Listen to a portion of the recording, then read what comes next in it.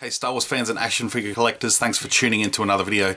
Just a little, uh, just a notification video basically. Uh, this Saturday, the 23rd of January 2021, if you're watching this later, um, is actually my 10th anniversary of joining YouTube. So I'm going to be doing a live stream as I have been doing um, on Saturday. I haven't decided whether I'm going to do one at my normal night time, uh, which is usually uh, you know, sort of mid to late morning for folks in the UK, very early in the morning for folks in the US. So um, I'm hoping to find a bit of a balance uh, between the two. So maybe if I can get it so it's late at night for on a Friday night for the US, and uh, yeah.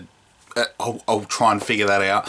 Stay tuned to my social media. I'm on Instagram, Twitter, and Facebook. Um, I already have an event set up and I do have a time selected on there, um, but that's not concrete at this stage. So just working out what my plans are for the weekend, uh, for Saturday, um, and I will have all those all that information up on my social media stuff before the time comes. So yeah, hope you can hope you can join in. Um, had a great time last weekend. It was absolutely had a cracker of a time.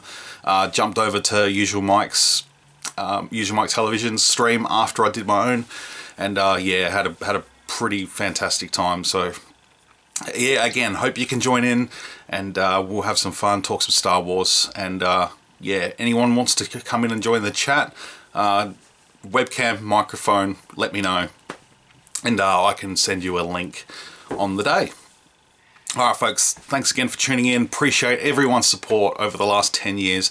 It's been absolutely incredible. Um, I just hit 3,700 subscribers today as well, so that's that's a pretty big milestone and it still blows my mind every time I get more subscribers. So awesome. I'm really, really excited.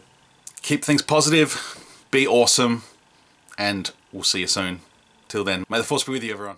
We're a little rushed, so if you'll just get on board, we'll get out of here.